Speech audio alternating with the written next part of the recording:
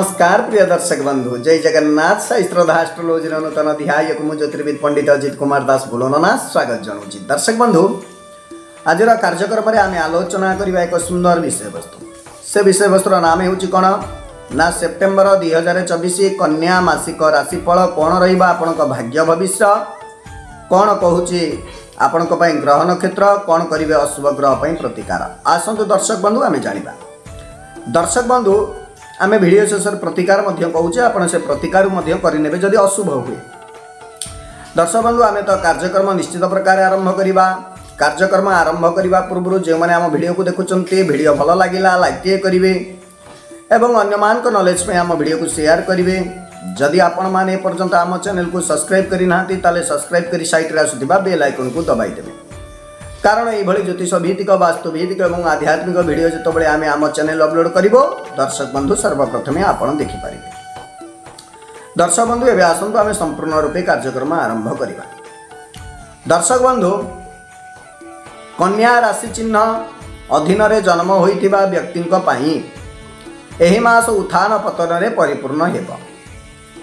ନିର୍ଦ୍ଦିଷ୍ଟ ପରିସ୍ଥିତିରେ ଆପଣଙ୍କୁ ସତର୍କ ରହିବା ପାଇଁ ପଡ଼ିବ କିନ୍ତୁ ଅନ୍ୟମାନଙ୍କର ମାସଟି ଆପଣଙ୍କ ପାଇଁ ଯଥେଷ୍ଟ ଲାଭଦାୟକ ହେବ। ମାସ ସାରା ବୃହସ୍ପତି ନବମ ଘରେ ରହିବେ ଏବଂ ତାଙ୍କର ଦର୍ଶନ ଆପଣଙ୍କ ରାଶି ଚିହ୍ନରେ ରହିବ ଯାହା ଆପଣଙ୍କୁ ସଠିକ୍ ନିଷ୍ପତ୍ତି ନେବାରେ ସାହାଯ୍ୟ କରିବ। ଏହା ବ୍ୟତୀତ ନବମ ଘରର ପ୍ରଭୁ ଶୁକ୍ର ଆପଣଙ୍କ ରାଶି ଚିହ୍ନରେ ଉପସ୍ଥିତ ରହିବେ ଯାହା ରୋଜଗାର ଯଦି ଦେଖିବା ରାଜଯୋଗ ପ୍ରଭାବ ଆଣିବ। ତେବେ ମାସ ଆରମ୍ଭରେ ଏହି ରାଶି ବୁଦ୍ଧ ଏକାଦଶ ଘରେ ରହିବେ ଯାହା ଆର୍ଥିକ ସ୍ଥିତିକୁ ସୁଦୃଢ଼ କରିବ ବା କରିବାରେ ସାହାଯ୍ୟ କରିବ। ତେବେ ଦ୍ୱାଦଶ ଘରେ ସୂର୍ଯ୍ୟ ଏବଂ ଷଷ୍ଠ ଘରେ ଶନି ଖର୍ଚ୍ଚ ବଢ଼ାଇବେ। କର୍ମଚାରୀମାନେ ଯେକୌଣସି ପ୍ରକାରର ସମସ୍ୟା ଜଡ଼ିତ ହେବା ଠାରୁ ଦୂରେଇ ରହିବା ଉଚିତ।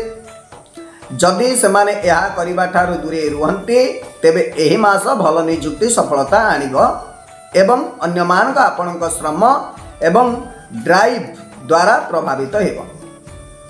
ମାସ ବ୍ୟବସାୟୀଙ୍କ ମାନଙ୍କ ପାଇଁ ଲାଭଦାୟକ ହେବ। ବ୍ୟବସାୟୀ ଯାତ୍ରା ସଫଳ ହେବ ଏବଂ ତୁମେ ତୁମର କମ୍ପାନୀକୁ ଆଗକୁ ନେବାରେ ସଫଳ ହେବ। ଦର୍ଶକ ବନ୍ଧୁ ପ୍ରଥମାର୍ଦ୍ଧରେ ପ୍ରେମ ସମ୍ପର୍କ ପାଇଁ ମାସ ସାମାନ୍ୟ ହେବ। କିନ୍ତୁ ଦ୍ୱିତୀୟାର୍ଦ୍ଧରେ ଉନ୍ନତିର ସମ୍ଭାବନା ଅଛି। ଆପଣ ନିଜ ଜୀବନସାଥୀଙ୍କ ଠାରୁ କିଛି ଶିଖିବା ଉଚିତ ନୁହେଁ। ଏବଂ ଆପଣଙ୍କ ମନରେ ଯାହା ଅଛି ତାହା ସମ୍ପୂର୍ଣ୍ଣ କରିବାକୁ ଚେଷ୍ଟା କରିବା ଉଚିତ ଯେକୌଣସି ଲୁକୟତା ସଂଯୋଗ ଉପରେ ସନ୍ଦେହ ସୃଷ୍ଟି କରିପାରେ ଯେଉଁମାନେ ବିବାହିତ ସେମାନେ ମିଶ୍ରିତ ଫଳାଫଳ ପାଇବେ ଗୋଟିଏ ପଟେ ଆପଣଙ୍କ ସମ୍ପର୍କରେ ପ୍ରେମ ପ୍ରେମ ଉତ୍ସାହ ପାଇଁ ସୁଯୋଗ ରହିବ କିନ୍ତୁ ପାରସ୍ପରିକ ବିବାଦ ମଧ୍ୟ ହୋଇପାରେ ତେଣୁ ଦର୍ଶକ ବନ୍ଧୁ ଆପଣ ସତର୍କତା ସହିତ ଆଗକୁ ବଢ଼ନ୍ତୁ। ମାସର ଆରମ୍ଭରେ ସ୍ୱାସ୍ଥ୍ୟ ପାଇଁ ଉତ୍କୃଷ୍ଟ ହେବ। କିନ୍ତୁ ଶେଷ ଭାଗରେ ଉତ୍ଥାନ ପତନ ହୋଇପାରେ। ଛାତ୍ରମାନେ ଉତ୍କୃଷ୍ଟ ଏକଡିମ୍ ପ୍ରଦର୍ଶନ ହାସଲ କରିବେ।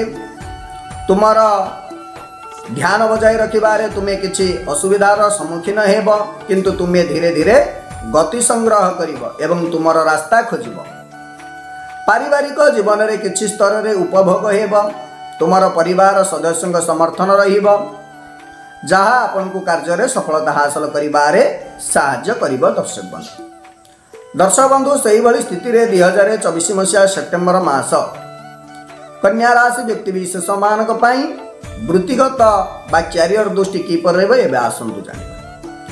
ଦର୍ଶକ ବନ୍ଧୁ ଏପର୍ଯ୍ୟନ୍ତ କ୍ୟାରିୟର ଦୃଷ୍ଟିରୁ ଏହି ମାସ ସକାରାତ୍ମକ ମନେ ହୁଏ।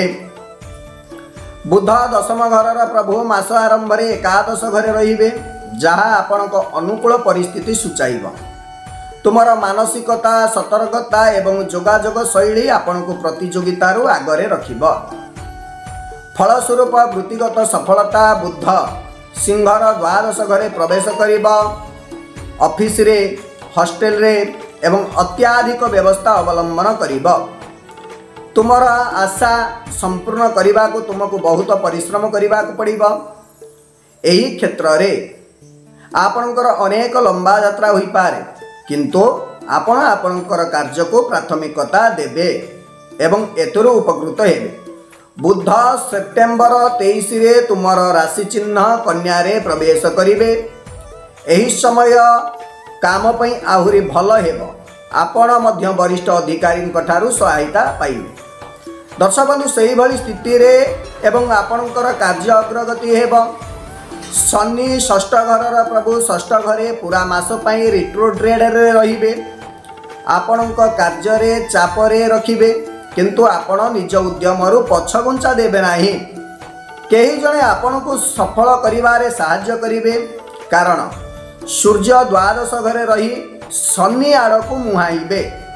ଆପଣ ମାସ ଆରମ୍ଭରେ କୋଠର ଶବ୍ଦ କହିବା କିମ୍ବା କାହା ସହିତ ଯୁଦ୍ଧ କରିବା ଠାରୁ ଆପଣ ଯେତେ ଦୂରେଇ ରହିବା ଆପଣଙ୍କ ପାଇଁ ସେତେ ଭଲ ହେବ। ମାସର ଦ୍ୱିତୀୟାର୍ଦ୍ଧରେ ଏହି ସ୍ଥିତି ଅଧିକ ଉନ୍ନତି କରିବା ଯେତେବେଳେ ସୂର୍ଯ୍ୟ ଷୋହଳ ତାରିଖରେ ସେପ୍ଟେମ୍ବର ଷୋହଳରେ ଷୋହଳ ତାରିଖରେ ରାଶି ଚିହ୍ନ ପରିବର୍ତ୍ତନ କରିବେ ବା ବ୍ୟବସାୟ କରୁଥିବା ଲୋକମାନେ ମାନେ ମାସର ମଧ୍ୟଭାଗରେ ରହିବେ। ବୃହସ୍ପତି ସପ୍ତମ ଘରର ପ୍ରଭୁ ନବମ ଘରେ ଉପସ୍ଥିତ ରହି ଆପଣଙ୍କୁ ବ୍ୟବସାୟ ପାଇଁ ଯାତ୍ରା କରୁଥିବା ବେଳେ ରାହୁ ସପ୍ତମ ଘରେ ଉପସ୍ଥିତ ରହି ଆପଣଙ୍କୁ ଅସ୍ୱାଭାବିକତାର ଶିକାର ହେବେ। ତୁମେ ତୁମର ବ୍ୟବସାୟରେ ଗୁରୁତ୍ୱପୂର୍ଣ୍ଣ ପରିବର୍ତ୍ତନ ଜାରି ରଖିବ। ସେଥିମଧ୍ୟରୁ କିଛି ଲାଭଦାୟକ ହେବ ଏବଂ କିଛି କ୍ଷତିକାରକ ମଧ୍ୟ ହେବ। ତେଣୁ ତୁମେ ସତର୍କତା ସହିତ ଆଗକୁ ବଢ଼ିବା ଉଚିତ। ଏବଂ ଶୀଘ୍ର ନିଷ୍ପତ୍ତି ନେବାଠାରୁ ଦୂରେଇ ରହିବା ଉଚିତ। ଶୁକ୍ର ମାସ ଆରମ୍ଭରେ ସପ୍ତମ ଘରକୁ ଦେଖିବେ ଯାହା ବ୍ୟବସାୟ ପାଇଁ ଲାଭଦାୟକ ହେବ। ସୂର୍ଯ୍ୟ ଏବଂ ବୁଧ ଆପଣଙ୍କର ରାଶିରେ ବସି ମାସ ମାସର ଦ୍ୱିତୀୟାର୍ଦ୍ଧରେ ସପ୍ତମ ଘରକୁ ଦେଖିବେ। ଯାହା ଦର୍ଶକ ବନ୍ଧୁ ଆପଣଙ୍କ ବ୍ୟବସାୟରେ ସମସ୍ୟା ଦୂର କରିବାକୁ ଆପଣଙ୍କର ବୃଦ୍ଧି ବ୍ୟବହାର କରିବାକୁ ଅନୁମତି ଦେବ। ଏହା ସତ୍ତ୍ୱେ ରାହୁ ସପ୍ତମ ଘରେ ରହିବେ ଯାହାଦ୍ୱାରା ଉତ୍ଥାନ ପତନ ଘଟିବ। ତେଣୁ ଆପଣ ସତର୍କ ଅବଲମ୍ବନ କରନ୍ତୁ। ଦର୍ଶକ ବନ୍ଧୁ ସେହିଭଳି ଦୁଇ ହଜାର ଚବିଶ ମସିହା ସେପ୍ଟେମ୍ବର ମାସ କନ୍ୟା ରାଶି ବ୍ୟକ୍ତି ବ୍ୟକ୍ତିବିଶେଷମାନଙ୍କ ପାଇଁ ଆର୍ଥିକ ସ୍ଥିତି କିପରି ରହିବ ଏବେ ଆସନ୍ତୁ ଜାଣିବା। ଦର୍ଶକ ବନ୍ଧୁ ତୁମର ଆର୍ଥିକ ଅବସ୍ଥାକୁ ଦେଖିଲେ ଏହା କୁହାଯାଇଛି ବା କୁହାଯାଇପାରେ ଯେ ବୁଦ୍ଧ ମାସ ଆରମ୍ଭରେ ଏକାଦଶ ଘରେ ବସିବେ ଏବଂ ଆପଣଙ୍କୁ ଆୟ ବୃଦ୍ଧିରେ କୌଣସି କ୍ଷତି କରିବେ ନାହିଁ। କିନ୍ତୁ ଦ୍ୱାଦଶ ଘରେ ସୂର୍ଯ୍ୟଙ୍କ ଉପସ୍ଥିତ ଏବଂ ଶନିଙ୍କ ଦିଗ ଏହା ଉପରେ ଏହା ମଧ୍ୟ ତୁମର ଖର୍ଚ୍ଚ ବଢ଼ାଇପାରେ ଏହାପରେ ସେପ୍ଟେମ୍ବର ଚାରିରେ ଆପଣଙ୍କ ରାଶି ଦ୍ୱାଦଶ ଘରକୁ ସ୍ଥାନାନ୍ତରିତ ହେବ। ଯାହାଦ୍ୱାରା ଆପଣଙ୍କର ଖର୍ଚ୍ଚ ଆହୁରି ବଢ଼ିବ ଏବଂ ଆପଣଙ୍କର ଆୟ ସ୍ଥିର ହୋଇଯିବ। ଏହାପରେ ସେପ୍ଟେମ୍ବର ତେଇଶରେ ବୁଦ୍ଧ କନ୍ୟା ସୂର୍ଯ୍ୟ କିଙ୍ଗରେ ଯୋଗ ଦେବେ ଯାହାଦ୍ୱାରା ଖର୍ଚ୍ଚ ଅଧିକ ପରିଚାଳନା ଯୋଗ୍ୟ ହେବ। ଯଦି ଆମେ ଦେଖିବା ତୁମର ଆୟ ସ୍ୱାଭାବିକ ହେବ କିନ୍ତୁ ଏହା ଯଥେଷ୍ଟ ହେବ କାରଣ ତୁମର ଖର୍ଚ୍ଚ ନିୟନ୍ତ୍ରଣରେ ରହିବ। ଫଳସ୍ୱରୂପ ଏହି ମାସ ମଧ୍ୟମ ହେବ। ପ୍ରତ୍ୟେକ ମାସ ଆରମ୍ଭର ତୁମର ଖର୍ଚ୍ଚ ଉପରେ ନଜର ରଖିବା ଜରୁରୀ।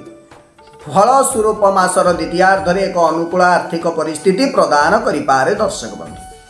ଦର୍ଶକ ବନ୍ଧୁ ସେହିଭଳି ସ୍ଥିତିରେ ଦୁଇ ହଜାର ଚବିଶ ମସିହା ସେପ୍ଟେମ୍ବର ମାସିକ ରାଶିଫଳ ଅନୁସାରେ କନ୍ୟା ରାଶି ବ୍ୟକ୍ତିବିଶେଷମାନଙ୍କର ସ୍ୱାସ୍ଥ୍ୟ କିପରି ରହିବ ଏବେ ଆସନ୍ତୁ ଜାଣିବା ଦର୍ଶକ ବନ୍ଧୁ। ଦର୍ଶକ ବନ୍ଧୁ ଏହି ମାସ ଜଣକ ସ୍ୱାସ୍ଥ୍ୟ ପାଇଁ ଲାଭଦାୟକ ହେବ କନ୍ୟା ରାଶି ବ୍ୟକ୍ତିବିଶେଷମାନଙ୍କ ପାଇଁ। ମାସ ଆରମ୍ଭରେ ଏକାଦଶ ଘରେ ରହି ରାଶି ପ୍ରଭୁ ସ୍ୱାସ୍ଥ୍ୟକୁ ଦୃଢ଼ କରିବେ ବୃହସ୍ପତି ଦୃଷ୍ଟିକୋଣ ମଧ୍ୟ ପ୍ରଥମ ଘରେ ରହିବ ଯାହା ଆପଣଙ୍କୁ ସ୍ୱାସ୍ଥ୍ୟ ହାସଲ କରିବାରେ ସାହାଯ୍ୟ କରିବ। କିନ୍ତୁ ଆପଣଙ୍କର ରାଶି ଚିହ୍ନ ରାହୁ କେତୁଙ୍କ ପ୍ରଭାବରେ ରହିବ? ମଙ୍ଗଳ ଗ୍ରହର ଦିଗ ସହିତ ଶନି ଷଷ୍ଠ ଘରେ ରହିବେ ଯାହା ରିଟ୍ରୋଗ୍ରେଡର ଷଷ୍ଠ ଘରେ ରହିବେ ଯାହା କିଛି ସ୍ୱାସ୍ଥ୍ୟ ସମସ୍ୟା ସୃଷ୍ଟି କରିପାରେ। ତେଣୁ ତୁମେ କୌଣସି କାମ କରିବା ଠାରୁ ଦୂରେଇ ରହିବା ଉଚିତ ଯାହା ତୁମକୁ ସମସ୍ୟା ଦେଇପାରେ ଦର୍ଶକ ବନ୍ଧୁ। ଦର୍ଶକ ବନ୍ଧୁ ତୁମ ହାଡ଼ କିମ୍ବା ଗଣ୍ଠିରେ ଆଖି ଦୃଶ୍ୟା ସମସ୍ୟା କିମ୍ବା ଯନ୍ତ୍ରଣା ହୋଇପାରେ। ଆପଣ ଯେତେ ପାରୁଛନ୍ତି ସେତେ ପୁଷ୍ଟିକର ଖାଦ୍ୟ ଖାଆନ୍ତୁ ଏବଂ ଏଥିରୁ ରକ୍ଷା ପାଇବା ପାଇଁ ପ୍ରତିଦିନ ସକାଳେ ଏବଂ ସନ୍ଧ୍ୟାରେ ସଫା ପାଣିରେ ଆଖି ଧୋଇ ଦିଅନ୍ତୁ। ଏକ ସୁସ୍ଥ ଜୀବନଶୈଳୀ ବଜାୟ ରଖନ୍ତୁ। ଆପଣ ଚାହିଁଲେ ସକାଳର ବୁଲିବା କିମ୍ବା ବ୍ୟାୟାମ ପାଇଁ ମଧ୍ୟ ଯାଇପାରିବେ। ମାନସିକ ଚାପରୁ ମୁକ୍ତି ପାଇବା ପାଇଁ ଆପଣ ଧ୍ୟାନରେ ବସନ୍ତୁ କିଛି ସମୟ। ଦର୍ଶକ ବନ୍ଧୁ ସେହିଭଳି ସ୍ଥିତିରେ ଦୁଇ ହଜାର ଚବିଶ ମସିହା ସେପ୍ଟେମ୍ବର ମାସ ମାସିକ ରାଶିଫଳ ଅନୁସାରେ କନ୍ୟା ରାଶି ବ୍ୟକ୍ତିବିଶେଷଙ୍କର ବିବାହ ପ୍ରେମ ବ୍ୟକ୍ତିଗତ ସମ୍ପର୍କ କିପରି ରହିବ? ଦର୍ଶକ ବନ୍ଧୁ ଯଦି ଆପଣ ଏକ ରୋମାଣ୍ଟିକ ସଂଯୋଗରେ ଅଛନ୍ତି ବୁଧ ବୃହସ୍ପତି ଏବଂ ମଙ୍ଗଳ ଗ୍ରହର ଦର୍ଶନ ମାସ ସାରା ପଞ୍ଚମ ଘରେ ରହିବ। ପ୍ରେମ ସହଭାଗିତାରେ ଉତ୍ଥାନ ପତନ ହେବ। ଏହି ସମୟ ମଧ୍ୟରେ ତୁମର ପ୍ରିୟଙ୍କ ଠାରୁ କିଛି ଲୁଚାନ୍ତୁ ନାହିଁ। କାରଣ ଏପରି କରିବା ତାଙ୍କ ମନରେ ଅନିଶ୍ଚିତତା ବଢ଼ାଇବ ଏବଂ ଭୁଲ ବୁଝାମଣା ହେତୁ ଆପଣଙ୍କ ସମ୍ପର୍କରେ ଏକ ତିକିତ ପରିସ୍ଥିତି ସୃଷ୍ଟି କରିପାରେ। ଯାହା ହେଉ ଭଲ ହେଉ କି ନକାରାତ୍ମକ ତୁମେ ଏହାକୁ ତୁମର ପ୍ରିୟଙ୍କ ସହିତ ସ୍ପଷ୍ଟ ଭାବରେ ଯୋଗାଯୋଗ କରିବା ଉଚିତ ଦର୍ଶକ ବନ୍ଧୁ। ଅନ୍ୟଥା ତୁମର ସମ୍ପର୍କରେ ଉତ୍ତେଜନା ବଢ଼ିବ ଏବଂ ପରସ୍ପର ବିରୁଦ୍ଧରେ ଅସନ୍ତୋଷ ମଧ୍ୟ ବଢ଼ିବ। ଏକ ଭଲ ସମ୍ପର୍କ ଭାଙ୍ଗିପାରେ ପଞ୍ଚମ ଘରର ପ୍ରଭୁ ଶନି ମଧ୍ୟ ମାସ ପାଇଁ ଷଷ୍ଠ ଘରେ ପ୍ରତ୍ୟାବର୍ତ୍ତନ କରିବେ। ଯାହା ଆପଣଙ୍କୁ ଆଶାବାଦୀ କରିବ ଯେ ଯଦି ଆପଣ ଯଥେଷ୍ଟ ପରିଶ୍ରମ କରନ୍ତି ତେବେ ଆପଣଙ୍କ ସମ୍ପର୍କରେ ପରିଚାଳନା ହୋଇପାରିବ। ଆପଣ ନିଶ୍ଚିତ ଭାବରେ ଏହି ବିନ୍ଦୁ ଗୁଡ଼ିକ ଧ୍ୟାନରେ ରଖିବେ। ସେପ୍ଟେମ୍ବର ଅଠରରେ ଶୁକ୍ର ଦ୍ୱିତୀୟ ଘରକୁ ଯିବା ପରେ ତୁମେ ତୁମର ସ୍ନେହପୂର୍ଣ୍ଣ ଶବ୍ଦ ସହିତ ନିଜ ସାଥୀଙ୍କ ହୃଦୟ ଜିତିବାରେ ପ୍ରଭାବଶାଳୀ ହେବ ଏବଂ ତୁମେ ଧୀରେ ଧୀରେ ଏହି ଅସୁବିଧାରୁ ବାହାରିବ। ବିବାହିତ ବ୍ୟକ୍ତିଙ୍କରୁ ବିବାହିତ ବ୍ୟକ୍ତିଙ୍କ ଦୃଷ୍ଟିରେ ରାହୁ ସପ୍ତମ ଘରେ ସମଗ୍ର ମାସ ପାଇଁ ଉପସ୍ଥିତ ରହିବେ ଏବଂ ଶୁକ୍ର ମାସର ପ୍ରଥମ ଭାଗରେ ସପ୍ତମ ଘରକୁ ଦେଖିବେ। ଫଳସ୍ୱରୂପ ଯଦି ଆମେ ଦେଖିବା ତୁମେ ତୁମର ଦାମ୍ପତ୍ୟ ଜୀବନରେ କିଛି ସ୍ତରରେ ରୋମାଣ୍ଟିକ ରହିବ ଏବଂ ତୁମେ ଜୀବନସାଥୀଙ୍କ ପାଇଁ କିଛି ଭଲ କାମ କରିବାକୁ ଇଚ୍ଛା କରିବ। ଯାହାଦ୍ୱାରା ତୁମର ଜୀବନସାଥୀ ତୁମ ପ୍ରତି ଦୟା ଏବଂ ସ୍ନେହ ଅନୁଭବ କରିବେ। ବୃହସ୍ପତି ସପ୍ତମ ଘରର ପ୍ରଭୁ ନବମ ଘରେ ରହିବେ। ଯାହା ଆପଣଙ୍କୁ ନିଜ ଜୀବନସାଥୀଙ୍କ ସହିତ ବହୁ ଦୂରକୁ ଯିବାକୁ ଅନୁମତି ଦେବ। ଆପଣ ଏକ ଧାର୍ମିକ ସାଇଟ୍କୁ ମଧ୍ୟ ଯାଇପାରିବେ। ଏହା ତୁମର ସମ୍ପର୍କକୁ ନୂତନ ଜୀବନ ବିଶ୍ୱାସ ଦେବ ଏବଂ ତୁମେ ଏହାକୁ ପରିଚାଳନା କରିବାରେ ସମର୍ଥ ହେବ। ଉଭୟ ସୂର୍ଯ୍ୟ ଏବଂ ବୁଧ ମାସର ଶେଷ ଭାଗରେ ଆପଣଙ୍କ ରାଶି ଚିହ୍ନରେ ପ୍ରବେଶ କରିବେ। ତାଙ୍କର ଧ୍ୟାନ ସେଠାରୁ ସପ୍ତମ ଘରକୁ ସ୍ଥାନାନ୍ତରିତ ହେବ। ରାହୁ ସେଠାରେ ବସିଥାନ୍ତି। ଏହି ଅବିଦ ଆପଣଙ୍କ ବିବାହ ଜୀବନରେ କିଛି ଟେନସନ୍ ସୃଷ୍ଟି କରିପାରେ ଏବଂ ଆପଣଙ୍କ ସ୍ୱାମୀଙ୍କ ସହିତ ଆପଣଙ୍କର ଝଗଡ଼ା ମଧ୍ୟ ହୋଇପାରେ। ତେଣୁ ଆପଣ ଏହି ଅବିଦ ମଧ୍ୟରେ ଧୈର୍ଯ୍ୟବାନ ହେବା ଆବଶ୍ୟକତା ଦର୍ଶକ ବନ୍ଧୁ। ଦର୍ଶକ ବନ୍ଧୁ ସେହିଭଳି ସ୍ଥିତିରେ ଦୁଇ ହଜାର ଚବିଶ ମସିହା ସେପ୍ଟେମ୍ବର ମାସ ମାସିକ ରାଶିଫଳ ଅନୁସାରେ କନ୍ୟା ରାଶି ବ୍ୟକ୍ତିବିଶେଷଙ୍କର ପରିବାର ଏବଂ ବନ୍ଧୁଗଣ କିପରି ରହିବ ଏବେ ଆସନ୍ତୁ ଜାଣିବା ଦର୍ଶକ ବନ୍ଧୁ। ଦର୍ଶକ ବନ୍ଧୁ ଏହି ମାସ ପରିବାର ପାଇଁ ଭଲ ହେବା ଉଚିତ। କାରଣ ଶୁକ୍ର ଦ୍ୱିତୀୟ ଘରର ପ୍ରଭୁ ମାସ ଆରମ୍ଭରେ ଆପଣଙ୍କ ରାଶି ଚିହ୍ନରେ ଉପସ୍ଥିତ ରହିବେ। ଯାହାଦ୍ୱାରା ପରିବାର ସଦସ୍ୟଙ୍କ ଆପଣଙ୍କୁ କୌଣସି କାର୍ଯ୍ୟରେ ସାହାଯ୍ୟ କରିବେ ଏବଂ ପାରିବାରିକ ପରିବେଶକୁ ଅନୁକୂଳ କରିବେ। ବୃହସ୍ପତି ଦର୍ଶନ ମଧ୍ୟ ପ୍ରଥମ ଘରେ ରହିବ ଯାହା ଆପଣଙ୍କୁ ସଠିକ୍ ନିଷ୍ପତ୍ତି ନେବାରେ ସାହାଯ୍ୟ କରିବ ଶୁକ୍ର ସେପ୍ଟେମ୍ବର ମାସର ଶେଷ ଭାଗରେ ତୁଳାରେ ଆପଣଙ୍କର ଦ୍ୱିତୀୟ ଘରେ ପ୍ରବେଶ କରିବ ଏହି ଅବିଦ ପରିବାରକୁ ଆନନ୍ଦ ପ୍ରଦାନ କରିବ ସେମାନଙ୍କ ମଧ୍ୟରେ ପ୍ରେମ ବଢ଼ିବ ସେମାନେ ପରସ୍ପରକୁ ସମ୍ମାନ ସହିତ ବ୍ୟବହାର କରିବେ ଏବଂ ଘର ଉନ୍ନତି କରିବେ ଯଦି ଆମେ ଦେଖିବା ଦର୍ଶକ ବନ୍ଧୁ ଘରେ ଏକ ପାର୍ଟି ମଧ୍ୟ ଅନୁଷ୍ଠିତ ହୋଇପାରେ। ଯେଉଁଠାରେ ସାଙ୍ଗମାନେ ଆସିବେ ଏବଂ ପବନରେ ଆନନ୍ଦ ମିଳିବ କାହାର ବିବାହ ବିଷୟରେ ମଧ୍ୟ ଆଲୋଚନା ହୋଇପାରେ। ଚତୁର୍ଥ ଘରର ପ୍ରଭୁ ବୃହସ୍ପତି ନବମ ଘରେ ବସିବେ ଏହି ପରିସ୍ଥିତି ପାରିବାରିକ ସୁଖକୁ ମଧ୍ୟ ଦର୍ଶାଏ। ତେବେ ଦର୍ଶକ ବନ୍ଧୁ ଦଶମ ଘରେ ମଙ୍ଗଳ ଚତୁର୍ଥ ଦିଗରୁ ପ୍ରଥମ ଘରକୁ ଏବଂ ଚତୁର୍ଥ ଘରକୁ ସପ୍ତମ ଦିଗରୁ ଅନାଇବେ।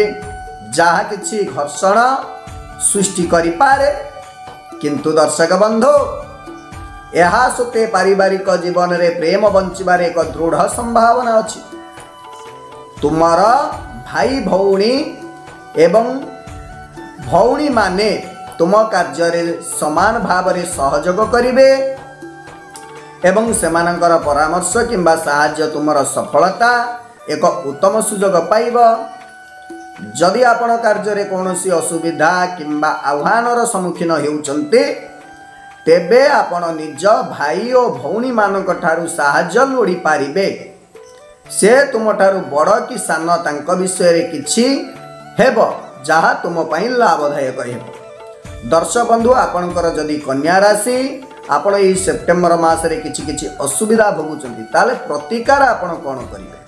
ପ୍ରତିକାର କରିନିଅନ୍ତୁ ଦେଖିବେ ଆପଣଙ୍କ ପାଇଁ ମାସଟି ବହୁତ ଭଲରେ କଟିବ। ତାହେଲେ ସେ ପ୍ରତିକାର କ'ଣ? ନା ଆପଣ ନିୟମିତ ଭାବରେ ଶ୍ରୀ ବିଷ୍ଣୁ ସହସ୍ର ନାମ ସ୍ତୋତ୍ର ପାଠ କରିବା ଉଚିତ ଏବଂ ବୁଦ୍ଧ ଏବଂ ଶୁକ୍ରର ବୀଜ ମନ୍ତ୍ର ଆପଣଙ୍କ ପାଇଁ ଅତ୍ୟନ୍ତ ଉପଯୋଗୀ। ବୁଧଦେବ ଏବଂ ଶୁକ୍ରଦେବଙ୍କ ବୀଜ ମନ୍ତ୍ର ଆପଣ ଡେଲି ସକାଳେ ସନ୍ଧ୍ୟାରେ ପାଠ କରନ୍ତୁ। ଏକୋଇଶ ଥର ହେଉ ସତେଇଶ ଥର ହେଉ ଯଦି ନ ପାରୁଛନ୍ତି ସାତ ଥର ମଧ୍ୟ। ଶୁକ୍ରଦେବଙ୍କର ସାତ ଥର ବୁଧଦେବଙ୍କର ସାତ ଥର। ବୀଜ ମନ୍ତ୍ର ଜପ କରନ୍ତୁ। ଏବଂ ଆଉ ଏକ ପ୍ରତିକାର ଆପଣଙ୍କ ପାଇଁ କ'ଣ ରହୁଛି ଦର୍ଶକ ବନ୍ଧୁ? ନା ଶନିବାର ଦିନ ପିମ୍ପୁଡ଼ିକୁ ମଇଦା ଖାଇବାକୁ ନିଶ୍ଚିତ ଦିଅନ୍ତୁ। ଏବଂ ତୁମ ବଗିଚାରେ ନାଗକେଶର ଗଛ ଲଗାନ୍ତୁ ଦେଖିବେ ଦର୍ଶକ ବନ୍ଧୁ ଦୁଇ ହଜାର ଚବିଶ ମସିହା ସେପ୍ଟେମ୍ବର ମାସ ମାସିକ ରାଶିଫଳ ଅନୁସାରେ କନ୍ୟା ରାଶି ବ୍ୟକ୍ତି ବିଶେଷଙ୍କ ପାଇଁ ବହୁତ ଆନନ୍ଦମୟ ହେବ। ଦର୍ଶକ ବନ୍ଧୁ ଇଏ ତ ଥିଲା ଛୋଟିଆ କାର୍ଯ୍ୟକ୍ରମଟିଏ। ପୁଣି ଏକ ନୂତନ କାର୍ଯ୍ୟକ୍ରମରେ ମୁଁ ଆପଣଙ୍କ ସହିତ ଭେଟ ସେଥିପର୍ଯ୍ୟନ୍ତ ଦର୍ଶକ ବନ୍ଧୁ ମୋତେ ବିଦାୟ ଦିଅନ୍ତୁ ମୁଁ ରହୁଛି। ନମସ୍କାର। ଜୟ ଜଗନ୍ନାଥ ଜୟ ଜଗନ୍ନାଥ ଜୟ ଜଗନ୍ନାଥ। ଜୟ ଶ୍ରୀରାମ ଜୟ ଗୁରୁଦେବ।